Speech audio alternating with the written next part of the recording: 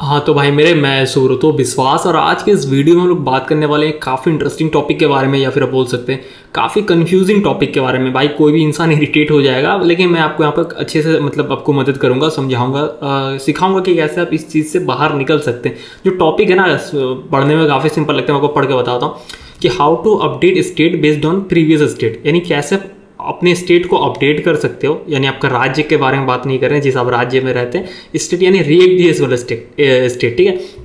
तो कैसे आप स्टेट को अपडेट कर सकते हैं? वो भी प्रीवियस स्टेट के बेस्ड पे। अब अब बोलेंगे, या फिर सोचेंगे, भाई, ये टॉपिक क्या है? समझ में नहीं आ रहा है। या फिर बहुत ही सिंपल होगा मतलब। लेकिन भाई, बहुत ज़्यादा मतलब अगर आप इसके पीछे एक बार पड़ गए मतलब अगर आपके साथ ये भाई, ये लफड़ा एक बार हो गया ठीक है, ये इशू आ गया।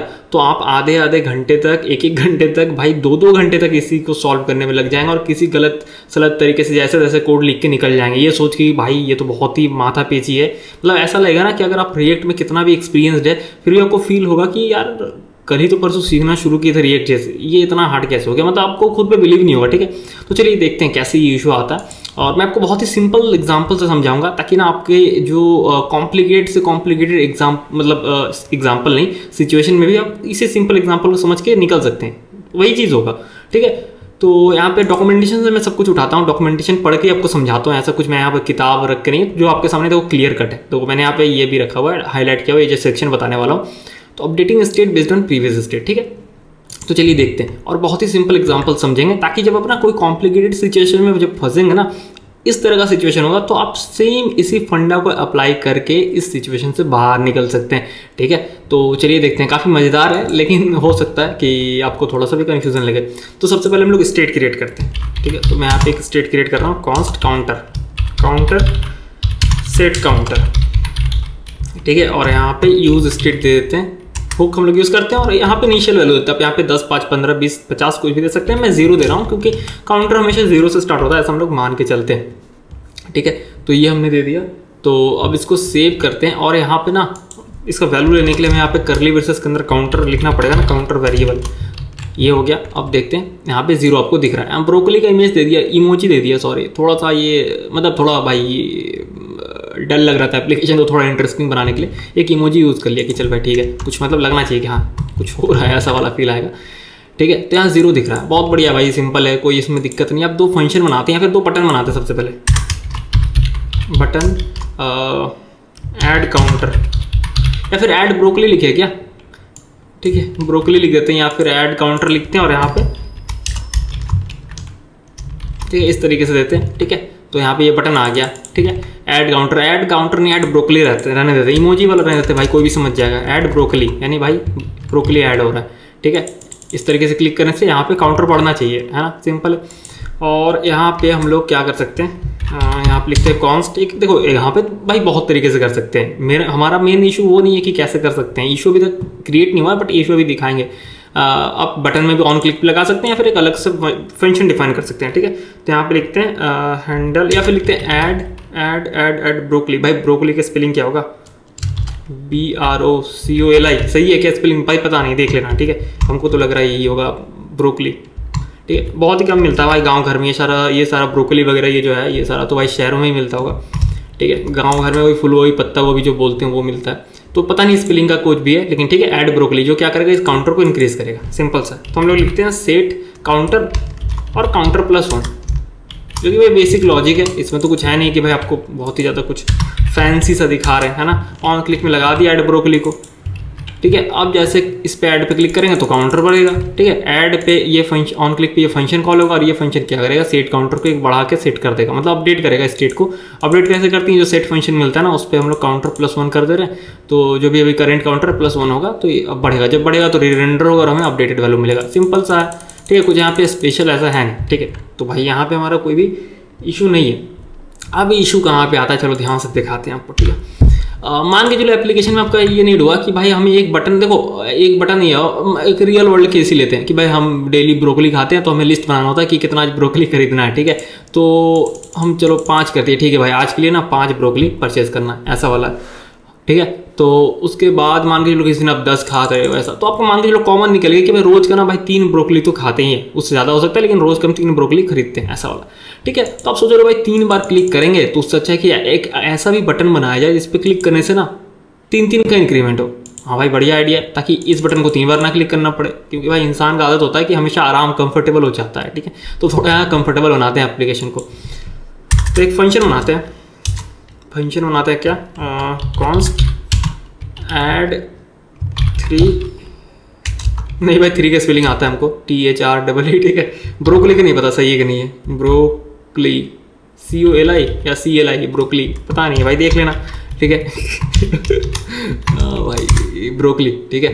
तो अब भाई आइडिया ये है कि इसी कोड को लिए और तीन बार यहाँ चाप दिए भाई, तीन बार पेस्ट कर दिए हैं, तीन बार अपडेट हो जाएगा मतलब तीन बार ऐड हो जाएगा अपडेट हो जाएगा, है ना? जो भी है मतलब तीन बार अपडेट हो जाएगा काउंटर तीन बार जाएगा सिंपल सा लॉजिक है। और इस बटन का भी कॉपी मार दिए और यहाँ पे, भाई क्या हो गया? इसको जो है इसे कॉपी मार दिए यहाँ पे लिख दिए एक्स थ्री ऐसा लिखते हैं ना मतलब कि तीन ब्रोकली ऐड करना है। ऐसे तो उसका मीनिंग निकलता है ना। और यहाँ पे फ़ंक्शन दे दिए ऐड थ्री ब्रोकली को असाइन कर दिए।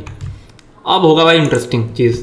ठीक है, ये देख लेते ये काम कर रहा है। हाँ भाई, ये तो काम कर रहा है ऐड ब्रोकली ठीक है, अब ऐड थ्री ब्रोकली की हमें पता है, रोज ना हम तीन ब्रोकली तो मिनिमम लेते हैं। भाई तो तीन तीन का बढ़ाएँगे, ऐसा वाला बना के रखें बटन इस पर जैसे क्लिक करेंगे ना, अरे भाई, ये क्या हुआ? एक हुआ। जबकि यहाँ पे तो तीन होना चाहिए था। अच्छा फिर से क्लिक करते हैं। नहीं भाई, ये तो ये भी तो एक एक का ही बढ़ रहा है। और भाई, ये भी एक एक का बढ़ रहा है। चलो चेक करते हैं फ़ंक्शन तो गलत नहीं लिखा? नहीं भाई फ़ंक्शन सही है ऐड ब्रोकली देखो हाईलाइट भी हो जा रहा है तो तुम बोल नहीं सकते कि भाई सुब्रो तो तुम गलत लिख रहे हो। ठीक है? तो माजरा क्या है? यही है इशू जब आप मल्टीपल स्टेट अपडेट करोगे ना, जब मल्टीपल स्टेट अपडेट करोगे मल्टीपल स्टेट यानी कि सेम स्टेट को मल्टीपल अपडेट मारोगे, या फिर मल्टीपल स्टेट भी अपडेट हो रहा है तो इस तरह के इश्यूज़ आपको देखने को मिलेंगे। कि भाई चेंज कर रहे हैं, लेकिन भाई कुछ इस तरह का हो रहा है। तो मैं आपको कंफ्यूज नहीं करूँगा सिंपल भाई ले जाऊँगा डॉक्यूमेंटेशन पे। यहाँ पे भी वही एग्जांपल है, मैं आपको अच्छे समझाऊँगा। लिखा however after one click age will be अब एज है हमारे केस में काउंटर होगा, ठीक है, जो भी तो तीन बार क्लिक करने के बाद ये 45 होना चाहिए था, यानी जैसे तीन बार क्लिक किया तो भाई हमारा थ्री हो जाना चाहिए था ना ज़ीरो है तो क्लिक किया तो थ्री हो जाना चाहिए था, ये तो वन हुआ। तो यहाँ सिंपली लिखा है दिस इज़ बिकॉज़ भाई मेरा हिंदी मीडियम से थोड़ा मेरा इंग्लिश का प्रोनाउंसिएशन उल्टा सीधा हो सकता है बट मीनिंग आपको अच्छे समझा देंगे, ठीक है। तो लिखा है this is because calling the set function does not update the age state variable in the already running code अब हमारे कोड में इसका क्या मीनिंग हो सकता है? हमारे कॉन्टेक्स में क्या मीनिंग हो सकता है? मैं अपने कॉन्टेक्स में बता रहा हूँ कि हमारे इस कोड में। आपने जब इस बटन पे क्लिक किया ना, इस बटन पे जिसमें थ्री बढ़ जाना चाहिए था तो उसमें क्या हुआ कि आपको देखो, हम लोग कैसे सोचते हैं? ध्यान समझना। हम लोग कोडिंग करते हैं ना, हम लोग कैसे समझते हैं? आपको पूरा अभी माजरा समझ में आ जाएगा हम लोग कैसे सोचते हैं? हम लोग सोचते हैं कि इस पर अगर क्लिक किए, ये फ़ंक्शन रन होगा। यानी कि काउंटर एक बढ़ेगा, ठीक है? काउंटर प्लस वन हो जाएगा। काउंटर कितना है? ज़ीरो है ना स्टार्टिंग में। तो मैं कमेंट कर रहा हूँ ज़ीरो प्लस वन कितना हो जाएगा? वन हो जाएगा। हाँ भाई, ठीक है? और उसके बाद ना क्या होगा भाई पता है? सुबह तो फिर वन हो गया था पिछले बार काउंटर ना तो इस बार वन प्लस वन होगा, क्योंकि काउंटर प्लस वन यहाँ पे रन हो रहा है। तो टू हो जाएगा। ठीक है? और फिर क्योंकि पिछले बार भाई काउंटर टू था तो यहाँ पे काउंटर प्लस वन कर रहे तो काउंटर टू प्लस वन कितना हो जाएगा? थ्री हो जाएगा भाई। यही होना चाहिए था, लेकिन ऐसा नहीं हो रहा। ऐसा हम लोग सोचते हैं क्योंकि हमें पता है कि भाई जावास्क्रिप्ट जो है लाइन बाय लाइन एग्जीक्यूट करता है राइट लेकिन यहाँ पे प्रॉब्लम क्या है ना रिएक्ट का अपना खुद का भी कॉन्सेप्ट है। वो क्या करता है? जब भी आप इस तरह से मल्टीपल स्टेट अपडेट कर रहे हो ना तो यहाँ पे देखो एक चीज़ तो लिखा हुआ है वो तो बैच अपडेट करता है वाला कॉन्सेप्ट बट उसने लिखा है कि the set function does not update the age state the set function update नहीं ए, मतलब स्टेट को अपडेट नहीं करता है. Variable already running in the code कहने का मतलब ये हुआ यहाँ पे लिखा ना कि ऑलरेडी रनिंग कोड इसका क्या मतलब होता है? आपने यहाँ पे जैसे अरे भाई कहाँ गया कोडिएटर आपने इस बटन बटन में क्लिक किया, ये फ़ंक्शन रन हुआ इसने तीन सेट इसको करना है ना, तीनों को कॉल करना तो ये नहीं कि ये कॉल हुआ और फिर वैल्यू फिर मतलब रनिंग कोड में ना आपको अपडेट नहीं करेगा। मतलब समझ हो बात? रनिंग कोड में अपडेट नहीं करने का मतलब। ये नहीं हुआ कि भाई ये अपडेट हुआ और फिर से कॉम्पोनेंट रेंडर हुआ, फिर आपको ये मिलेगा, फिर मिलेगा, फिर ऐसा नहीं हुआ, ठीक है? ये चीज़, ये एक ही बार में बैच अपडेट करता है। रिएट का जो कॉन्सेप्ट है ना बैच अपडेट करता है। तो ये क्या कर रहा है, मैं बता रहा हूँ। ये एक्चुअल में क्या कर रहा है? अगर मैं कमेंट हटा दूँ यहाँ से ताकि आपको समझ में आए। ये कर कर क्या रहा है? ये काउंटर जब आपने इस पर क्लिक किया तो ये बैच अपडेट करता है। यानी एक ही बार में अपडेट मारेगा। ठीक है? समझ रहे हो बात? तो भाई काउंटर का वैल्यू कितना था? Zero plus one zero plus one equals to one फिर यहाँ पे देखा यार फिर से अपडेट हो रहा है। फिर से इसने हमारा अभी काउंटर का वैल्यू कितना है? रिसेंट टाइम फ्रेम में ज़ीरो है वैल्यू हाँ zero plus one equals to one फिर देखा, फिर से है भाई, चलो कोई बात नहीं ज़ीरो प्लस वन कितना? वन तो इसीलिए जब भी हम लोग इसको क्लिक कर रहे हैं तो भाई वन हो रहा है, ना कि थ्री हो रहा है, समझ रहे हो? आप इसको एक टाइम मशीन के जो होता है ना टाइम मशीन का मूवीज़ देखते हो वेब सीरीज़ देखते हो तो उस टाइम फ्रेम में देखो तो ये ना एक बार में भाई ऐसा नहीं होगा कि ये खत्म होके वापस आएगा और फिर आपको नया वैल्यू मिलेगा इस पर फिर नया वैल्यू मिलेगा इस पर एक खत्म होगा, क्योंकि हम लोग स्टेप बाय स्टेप सोचते हम लोग लीनियर सोचते हैं चीज़ों को, है ना? लीनियर सोचते हैं तो हमें लगता है कि भाई लाइन बाय लाइन एग्जीक्यूट होगा। तो भाई यहाँ पे तो ये अपडेट हो गया होगा काउंटर क्योंकि हमने अपडेट कर दिया तो हमें तो यहाँ पे अपडेटेड वैल्यू मिलना चाहिए। नहीं, ऐसा नहीं होगा। ये code batch update React JS eighteen का ही फीचर आप देखे होगा कि मल्टीपल बैच अपडेट होता है। तो वो क्या करेगा? करेंट वैल्यू जो भी काउंटर का होगा ना, वो लेगा, तीनों में भेज देगा। ठीक है? समझ गए? यहाँ तक तो साफ़ साफ़ लिखा भी हुआ मेरे को पता है ये चीज़ थोड़ा कन्फ्यूज़न है भाई। मैं भी आपको हंड्रेड परसेंट तरीके से नहीं समझा सकता बट जितना समझा पा रहा हूँ, समझा रहा हूँ, ठीक है? तो पे साफ़ साफ़ लिखा है कि the set function does not update the age state variable already running in the code तो रनिंग हो रहा है, उसमें नहीं हो सकता। तो अल्टीमेटली ये जो है, देखो यहाँ पे दिया है कि अगर आप तीन तीन बार कर रहे हो तो सेम वही चीज़ होगा forty one plus one forty one जो भी है मतलब सेम ही चीज़ जाएगा, ठीक है? तो इसको सॉल्व करने का क्या सिंपल सा सॉल्यूशन है? इसको सॉल्व करने का सिंपल सा सॉल्यूशन ये है कि आपको अपडेटर फ़ंक्शन पास करना है, ठीक है? ठीक है, देखो to solve this problem you may pass an updater function updater function क्या मतलब होता है? ऐसा फ़ंक्शन जो उस चीज़ को अपडेट करेगा। तो बस इसीलिए उसको बोल देते हैं अपडेटर फ़ंक्शन है फ़ंक्शन ही ठीक है? ट्रू सेट स्टेज यानी जो सेट है, जो हमारा फ़ंक्शन है अपडेट करने के लिए, उसके अंदर अपडेटर फ़ंक्शन देना होगा। ठीक है? तो यहाँ पे कैसे करेंगे? देखो, काफ़ी सिंपल है। इसके नीचे मैं फिर से लिख रहा हूँ। तो सेट काउंटर लिखना है और इसके अंदर आपको एक अपडेटर फ़ंक्शन देना है इस तरीके से। ठीक है? जैसे हम लोग कॉल फ़ंक्शन कैसे देते हैं वैसे? और यहाँ पे लिखना है काउंटर प्लस वन ठीक है? जैसे यहाँ पे देखो, यहाँ पे लिखा है। ये देखो, यहाँ पे अपडेटर फ़ंक्शन यहाँ पे दिया तो इस तरीके से ये। तो यहाँ पे आपको देखो और चीज़ है, आपको इसमें ना जब आप इस तरीके से अपडेटेड फ़ंक्शन देते हो ना तो आपको प्रीवियस वैल्यू मिलता है। यहाँ पे ध्यान से देखना, मैं थोड़ा गलत लिख दिया। तो आपको एक ऑल फ़ंक्शन में यहाँ पे ए बी सी डी आलू, प्याज, टमाटर को भी जो मन चाहे लिख सकते हो। लेकिन कन्वेंशन ये कि आपका स्टेट किस नाम से काउंटर नेम से। तो आप लिखो प्रीव काउंटर यानी प्रीवियस काउंटर यानी प्रीवियस वैल्यू आपको मिलेगा, ठीक है? तो देखो प्रीवियस काउंटर और आपको यहाँ करना है प्रीवियस काउंटर प्लस वन ठीक है? ये सही फॉर्मेट है, ठीक है? अब मेरे को तीन बार चाहिए था ना, मैं तीन बार इसको पेस्ट कर दूँगा। तो अब ये कैसे काम करेगा, इसको मैं रिमूव कर दे रहा हूँ या फिर इसको कमेंट कर दे रहा हूँ ताकि ये रन ना हो। ठीक है, अब कैसे होगा मैं बताता हूँ। ठीक है सेट काउंटर होगा, उसमें ये गया। अब जब इस तरह से अपडेटेड फ़ंक्शन देते हो ना, तब ये आपको क्या करेगा इसको क्वी क्वी में डाल देगा। देखो यहाँ पर लिखा भी हो क्वी मतलब सिंपल समझो, बता दे, देखो लिखा हुआ है pending state it takes pending state calculate next state ठीक है, जो भी देखो, लिखा हुआ है कि प्रियक puts your updater function in queue queue मतलब भाई सिंपल देसी भाषा में बोला जाए तो एक लिस्ट में डाल दिया। जैसे आप टिकट खरीदने जाते हैं ना मूवीज़ देखने के लिए। एक नंबर लाइन में लगा दिया कि भाई पहले तुम, फिर तुम तुम, फिर तुम फिर तुम। ठीक है? इस तरीके से। तो क्या हुआ कि रिएक्ट ने इन सारे अपडेटर फ़ंक्शन को क्वी में लगा दिया। क्वी क्वी जो भी बोलो। ठीक है? तो अब क्या होगा ना तो ये जब रन होगा, ये जब रन होगा, कैसे रन होगा बताता हूँ। ये रन हुआ तो ये प्रीवियस काउंटर लेगा, यानी पहले काउंटर क्या था? तो बाय डिफ़ॉल्ट तो भाई काउंटर प्रीवियस काउंटर का वैल्यू कितना था? ज़ीरो था।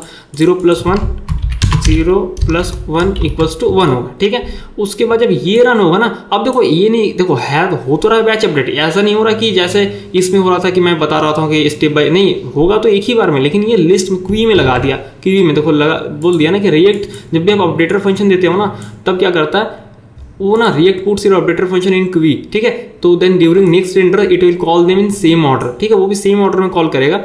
तो यहाँ पे चेक करेगा प्रीवियस काउंट का बता दिए तो यहाँ पे वन हो गया। अब ना आप क्योंकि आपने यहाँ पे अपडेटर फ़ंक्शन दिया है, ठीक है? तो ये चेक करेगा कि प्रीवियस वैल्यू क्या था। तो प्रीवियस काउंटर में आ जाता है प्रीवियस वैल्यू तो प्रीवियस काउंटर कितना था? वन था। तो प्रीवियस काउंटर प्लस वन तो यहाँ पे होगा one plus one equals to two ठीक है, फिर इसने चेक किया, भाई, क्वी में कीवी में, उस थैले में या बैग में जो भी बोल सकते हो, उसमें है, ठीक है, अभी भी एक फ़ंक्शन बचा हुआ जो मतलब एग्जीक्यूट होना है अपडेट होना है स्टेट तो यहाँ पे ये अपडेटेड फ़ंक्शन फिर कॉल होगा। तो प्री देखो कॉल बैक फ़ंक्शन में आ रहा है प्रीवियस काउंटर मैं काउंटर की बात नहीं कर रहा हूँ। काउंटर तो अभी भी अगर आप यहाँ पे काउंटर लगा दूँगा ना वन ही होगा। Previous counter callback function में मिल रहा है। प्रीवियस काउंटर बोल सकते हो प्रीवियस वैल्यू पेंडिंग वैल्यू तो प्रीवियस काउंटर कितना था? टू था। तो यहाँ पे क्या रिटर्न कर रहे हैं अपडेट जब कर रहे हैं प्रीवियस काउंटर प्लस वन यानी two plus one three two plus one equals to three. तो अब देखना ये क्या होगा, ये तीन तीन का पड़ेगा। चलो देखते हैं रिलोड करते हैं, ठीक है? जैसे करेंगे, ये देखो, तीन तीन का पड़ रहा है। लेकिन यहीं पे काफ़ी इंटरेस्टिंग है चीज़, आप अपडेटर फ़ंक्शन लो बट ना आप यहाँ पे क्या करो, मैं यहाँ पे देखता हूँ। मेरे को भी नहीं पता, मैं यहाँ पे एक्सपेरिमेंट कर रहा है, पर मैं काउंटर प्लस वन कर देता हूँ, ठीक है? तो भी क्या ये चीज़ उसी तरीके से काम करेगा? देखते हैं, चलिए।